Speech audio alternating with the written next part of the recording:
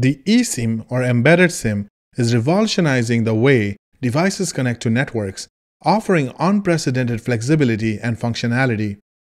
Unlike traditional SIM cards, eSIMs are embedded directly into a device's hardware via an EUICC chip and can be reprogrammed remotely to switch between carriers or profiles. This eliminates the need for physical SIM swaps and enables seamless connectivity across borders and industries. But what does this mean for the future of technology? Could this innovation redefine how we interact with devices in our daily lives? Comment below with your thoughts. Newer smartphones allow users to store multiple carrier profiles on a single device, making it easy to switch networks without swapping physical SIM cards. For example, a traveler can download a local carrier profile via a QR code upon arrival in another country, avoiding expensive roaming charges. Additionally, eSIMs save internal space in smartphones by eliminating the need for SIM trays, allowing manufacturers to include larger batteries or advanced components like better cameras.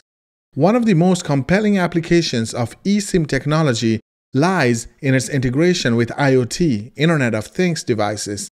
From connected cars that provide real time traffic updates and remote diagnostics to smart home systems that operate without Wi Fi, eSIMs are enabling a new era of interconnectedness.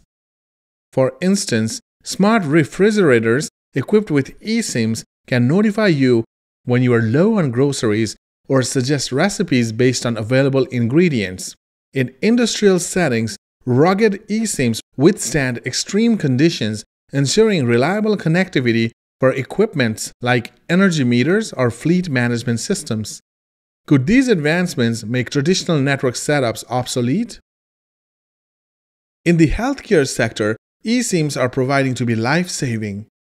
Wearable health devices can transmit real time data to medical professionals, enabling early detection of critical conditions or immediate emergency response. Similarly, pet trackers with eSIMs allow owners to locate their furry friends anywhere in the world. These applications highlight how eSIMs are not just about convenience, but also about enhancing safety and well being. eSIMs also shine in global travel and logistics. Imagine traveling to 20 countries by downloading 20 profiles on your phone instead of carrying 20 separate physical SIM cards in order to maintain continuous connectivity.